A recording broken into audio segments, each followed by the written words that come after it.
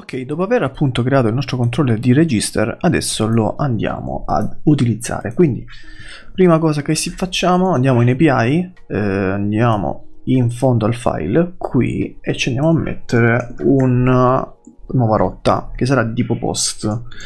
E il percorso lo chiameremo uh, out slash uh, register, ok?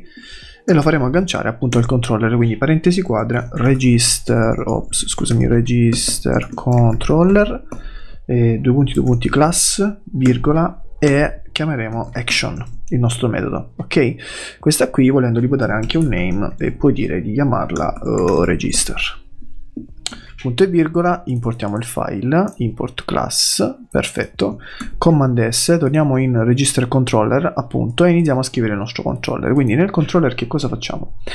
E dovremmo andare a creare un utente, quindi adesso lasciamo tutto il discorso che vi ho fatto le, mm, le scorse lezioni di provider, service, che comunque andrebbe fatto con i fiocchi, quindi andrebbe chiamato un service che ti registra, poi il service va a chiamare un repository, eccetera, eccetera. Ora faremo tutto nel coso per fare, diciamo, perché questa questo capitolo è focalizzato appunto su quelli che sono i eh, web token. quindi public function abbiamo detto la chiamiamo action e ci diamo una request, quindi andiamo a creare subito una request eh, che chiameremo quindi php artisan make due punti request e la chiameremo uh, register register uh, request Ok, che cosa ci andiamo a mettere in questa request? Dove l'ha messa qui?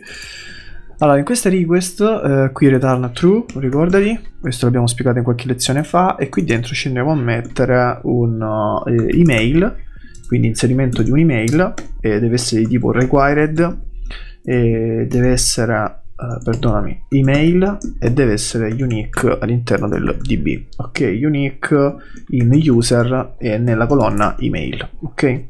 Poi eh, andiamo a mettere il name. Ci andiamo a mettere name. Qui ci mettiamo oh, sempre required.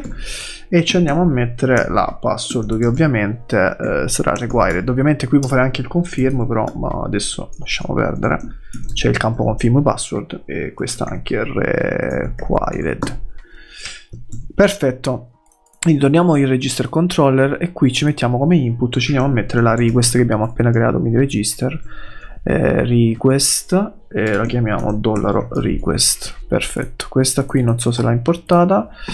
Ok adesso l'abbiamo importata e ci andiamo a mettere uh, di request ci andiamo a prendere tutto quanto. Quindi potremmo fare un return.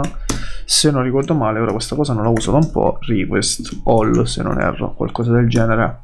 Uh, dovrebbe funzionare non mi ricordo bene. Quindi il L'endpoint è API slash out register e stiamo mandando come body abbiamo detto una request di tipo con name, email e password. Quindi faccio la send e mi dà ok. Come vedi praticamente sta prendendo tutto ciò che è in input e lo sta buttando in output. Quindi se io qui eh, dovessi, vediamo, proviamo a mettere un password 2 facciamo send, abbiamo password 2, ok? Perché stiamo vedendo tutto quello che sta in input e lo stiamo dando in output.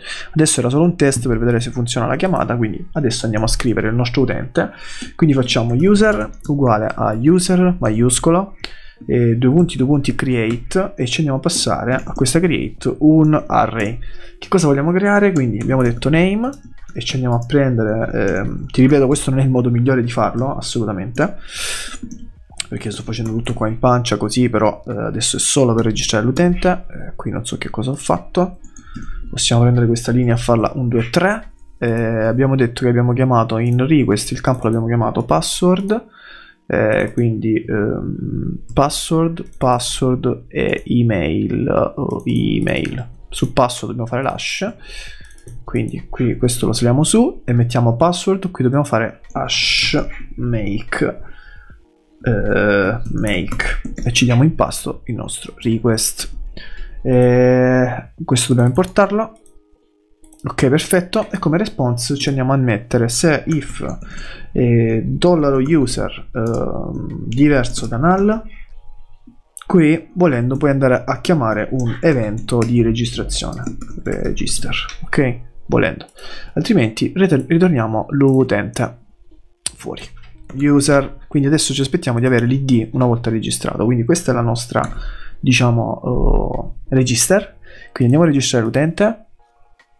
Eh, dice quindi message uh, name email e password. Uh, email field is required.